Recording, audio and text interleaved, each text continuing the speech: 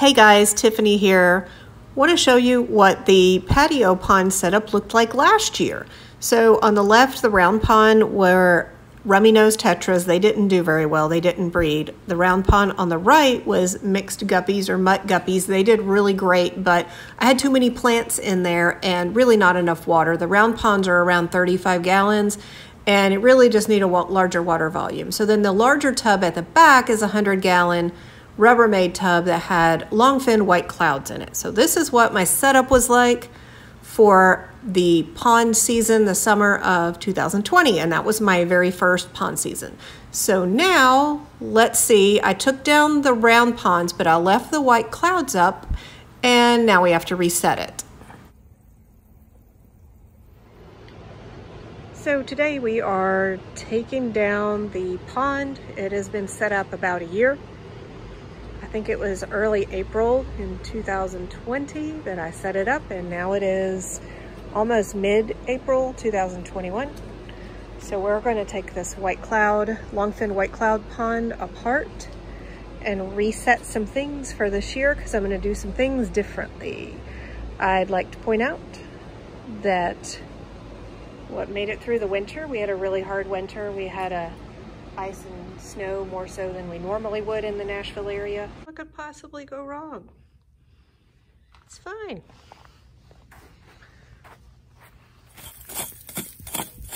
There is, there's bubbles coming up. Man, it's already frozen over. And we have duckweed and creeping Jenny that has made it through. And then these have come back. I don't remember what these are called right offhand. I have to look that up.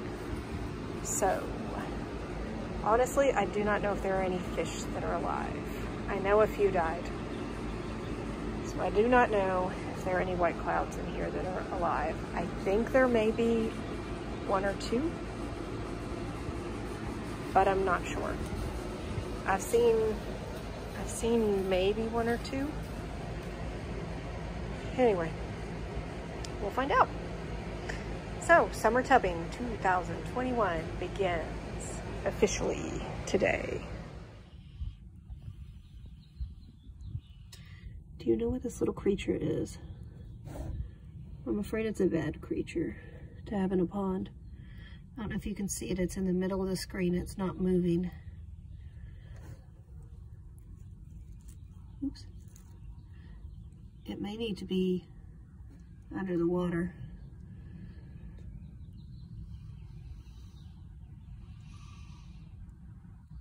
I don't know. Do you see it?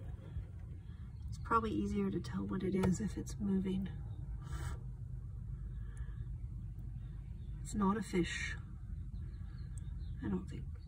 It doesn't look like a fish I, that I intended for it to be in there. Ugh. Anyway, if you know what that is, uh, let me know. Oh, and side note, We've just we've just barely begun. I think the snails are doing well. Look at the bottom of the sponge filter. Focus, focus, focus.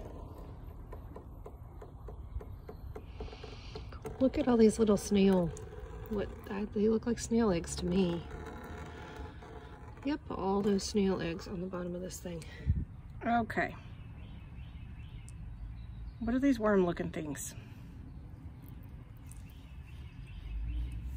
Um, vaguely remember having a piece of wood and tying a spawning mop. And there's like wormy things all in it. In the spawning mop that was sunk to the bottom. That's like really gross. See them? They're alive. They're moving. Probably not happy I took them out of the water. Oh no, it's sprinkling. Um, yeah, what are these wormy things? I don't, ooh, there's a little one that's moving. They are not happy. And some of these snails are having a bad day too. There's a bunch of snails on this wood. Um, I went ahead and threw some wood in here. Threw some wood in the pond that I really got from my large, I don't have it yet, aquarium. So I am reclaiming the wood. There's three big pieces and then there's one a little bit shorter, but still nice piece of wood. Um, I'm reclaiming. So are these guys gonna die? Are they beneficial? Are they bad? Ooh, there's a bunch of them. They're starting to move around. They're trying to find water. I don't know what to do with them. So we found two white clouds. These guys are going to be really cold hardy, and I'm going to get more. Um, but yeah, two survivors. These guys survived over the winter. I'm kind of surprised that any of them did. But that's all that's left. I'll get some more from my local fish store. Longfin white clouds and add them to these two. And we'll be breeding longfin white clouds outside again here too. So we gotta figure out what we're gonna do. Oh, all the muck. Oh, all the muck. Uh, the net and the muck. Trying to get the, uh, make sure that there were no, in the beginning I was taking out buckets I could see in the water. Um, as it got closer to the bottom, I couldn't see in the in the bucket of water because it was all stirred up and there was just more stuff in it. So I got to figure out what to do with these plants to save them. And then we do have one, um, I didn't know what I was doing, but I put these in a bucket with some water in the garage. And one did not make it, but this one is alive. I don't remember what this is called. Um, yeah, I could guess, but it had pretty orange flowers. I can probably find a picture or a video.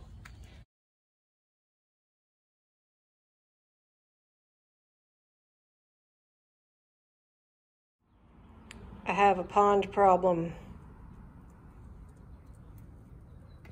Honey girl, I have a serious space issue in my courtyard. Okay, the little round pond on the right is not staying. I was just setting the plants in the driftwood and the whatever in it. So the round one, it, that's what I had last year. Okay, so in right in front of us, that's my 100 gallon Rubbermaid tub. That's what my white clouds were in last year and up until today. Behind that is a 150 gallon. Yes, the white clouds are going in a 150. In a, in a, in a 150, yes, they are getting upgraded. Uh, there's just not space. Unless I want to lose patio furniture, I want to put the white cloud tub, which is now going to be a 150 gallon, in a spot that I can leave it all year long, not move it, not wish I had put it a little bit further over and it not be in the way and not have to rearrange the furniture. Last year, in order to fit all the ponds in, I moved one of the lounge chairs into the yard, which is fake turf. And it wasn't a problem necessarily. I just didn't really care for it being out there.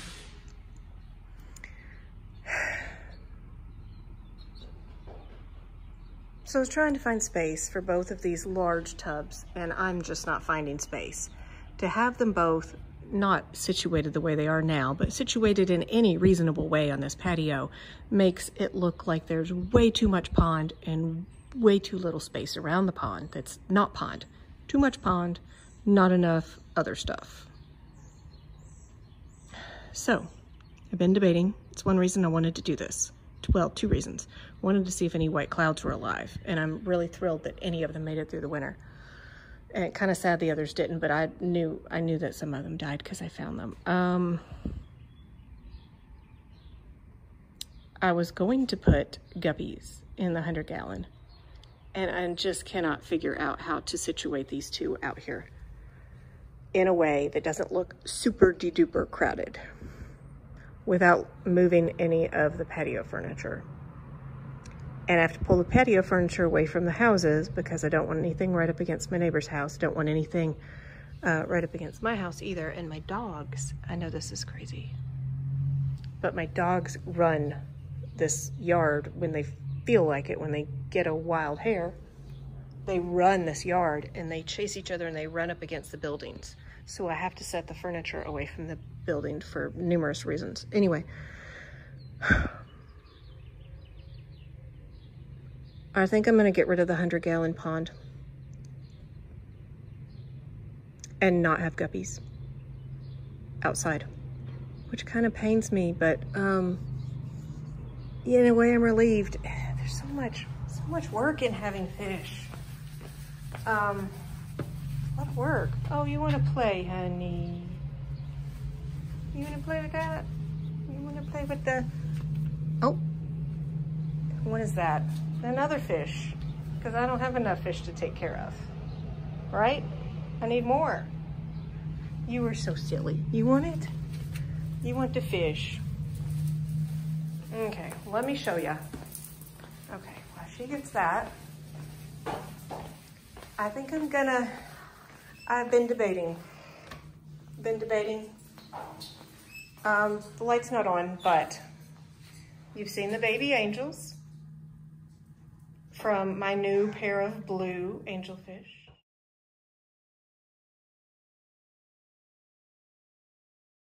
So those are the babies. Yes, it's dark. I didn't turn the light on. Wasn't planning on showing you this.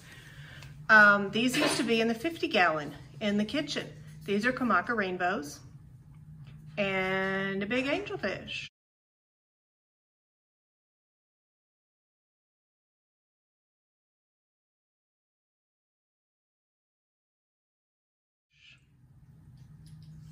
Uh, this bottom tank used to be guppies, so I had to move things around. I never really explain, explained it, but I had to move the mixed guppies out of this bottom tank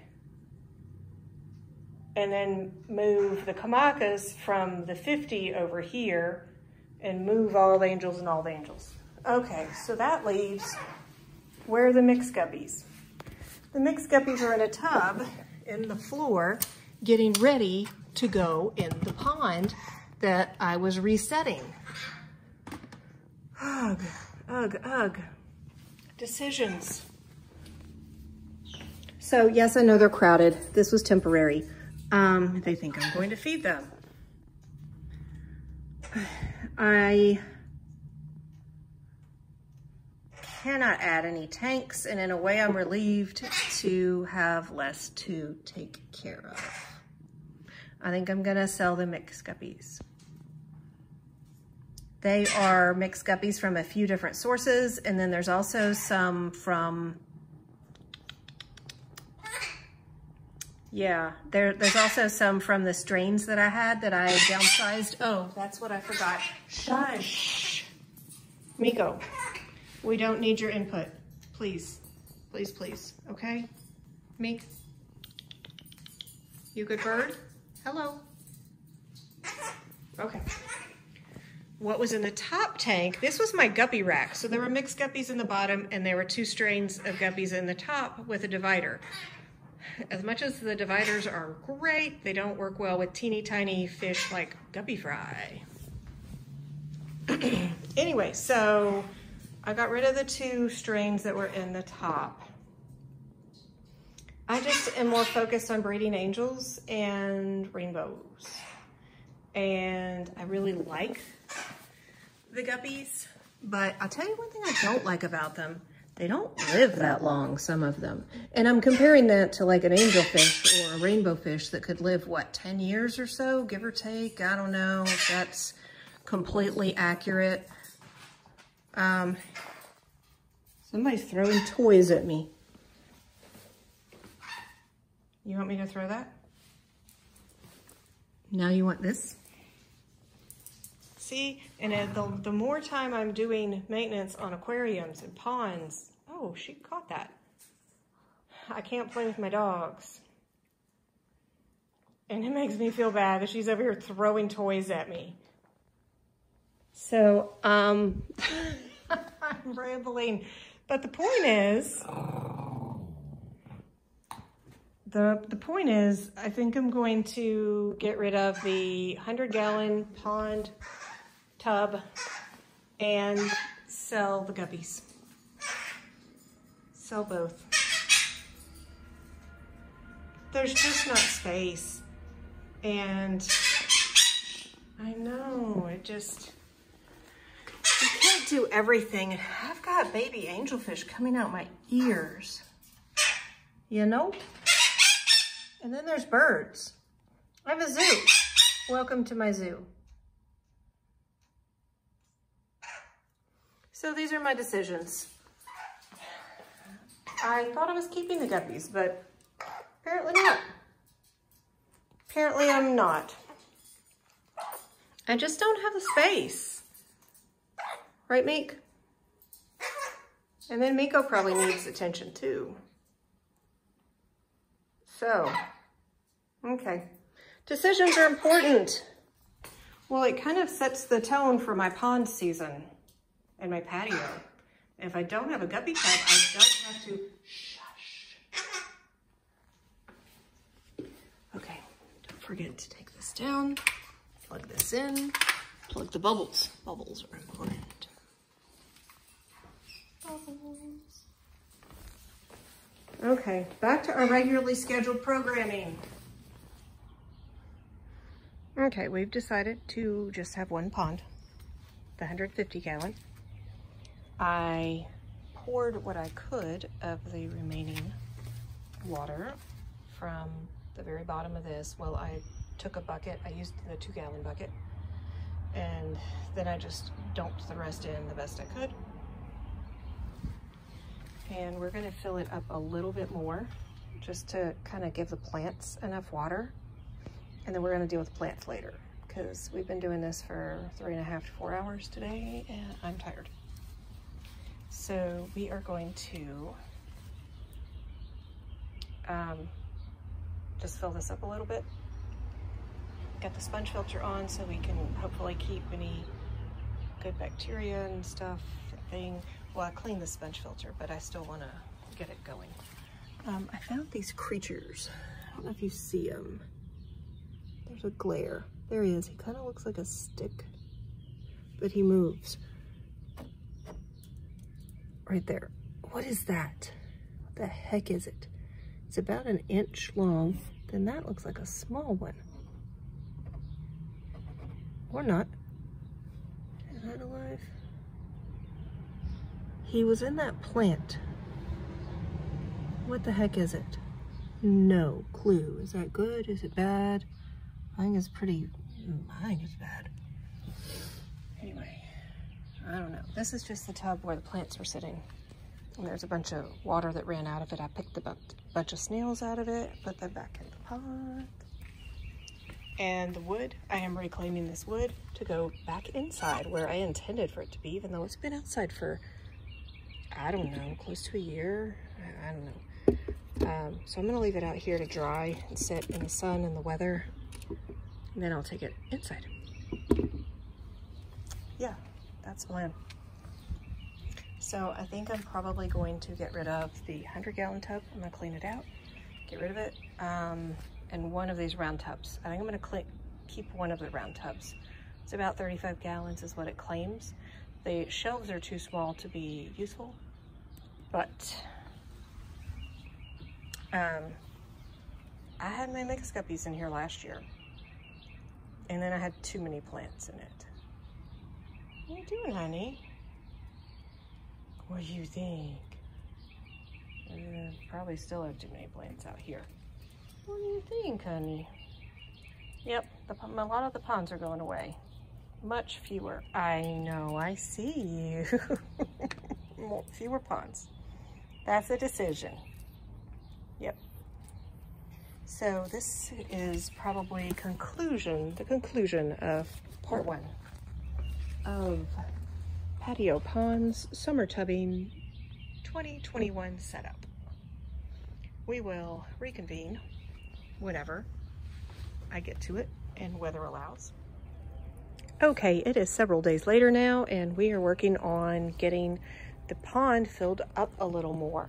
I usually use zip ties to get these baskets in and well, usually I have one season of experience. That's it, one season. So I usually use zip ties. I decided not to. I'll tell you one of the problems, and I even drilled some of these holes. Some of them were already here, but I even drilled some holes.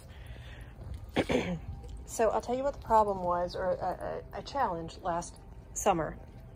I um, did the zip ties through the holes in these baskets, and that wasn't the problem. But the problem was the baskets were pulled up so close to the top of the of the pond. And of course I had a 100 gallon then. This is 150 tub.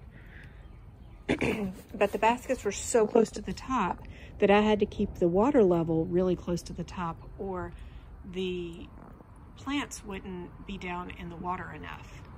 But then if we had a heavy rain, it would overflow. So it was difficult to keep the plants submerged in the water at an appropriate depth. So what I'm trying to do now is I set bricks up. I set three bricks and try to put the plants, each of these baskets. Now I didn't really do a whole lot to these. These were in the pond through the winter with the white clouds. So I looked up what I had before and these long things, uh, where's my note? These, um, these long grassy things are called dwarf variegated sweet flag. So this is dwarf variegated sweet flag. And um, this is creeping Jenny. This lived in the pond through the winter. Crazy. Um, and this wasn't really growing, but it stayed in the pond as well and has come back now that it's gotten warmer. And, oops, then um, this is the, um, it's a canna. It had a orange flower, and I'll try to show that. Um, that is called Chiquita Punch Canna, a dwarf orange punch. And so a lot of the things I got are actually dwarf because some of these are pond plants to be used in an actual pond, not a patio pond or a tub, but an actual pond. So you kind of have to be careful not to get things that are too, too big. And I will encourage you not to, um, some of these plants really cover. Um, one thing I'm hoping comes back, uh, this is a clover plant. I don't remember what it was called. Um, and I just kind of topped these off with some aquatic soil. Um, aquatic planting media. So I just topped these off. You can tell it's kind of dry. So I'm hoping that this four-leaf clover stuff comes back. And I tried to get this, um, all this yuck out of some of the pots. Some of these pots really, really smell bad. But I was thinking about repotting them and I decided not to. I just topped off this aquatic planting soil a little bit. And I'm gonna fill this up maybe a little bit above these and see how it goes.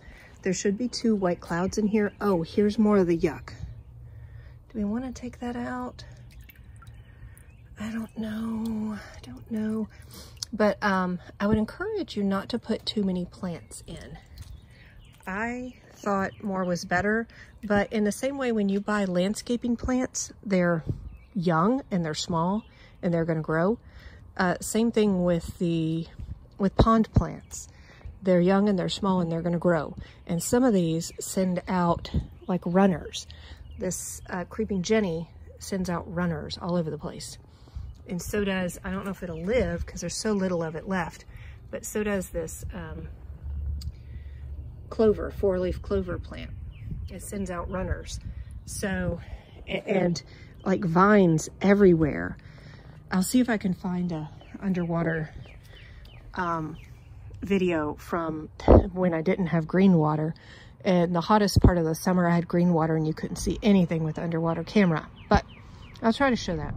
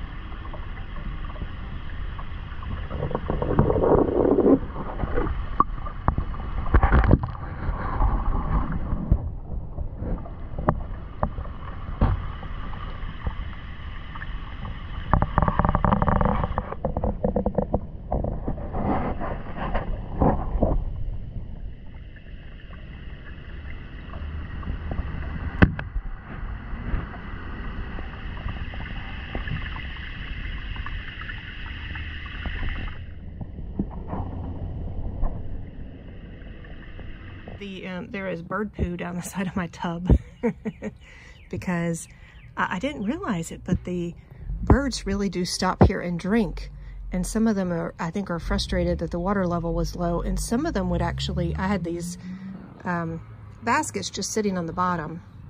Some of them, I think, would perch on the side of the basket and drink anyway. But I'm surprised um, how many birds are stopping to drink. So anyway, why is my sponge filter not? Uh-oh, did I step on something wrong? Oh, oops. I need a new check valve. I stepped on that one. Like it's not bubbling. Anyway, I have one more thing I really want to get, so I'm trying to leave some space for that. And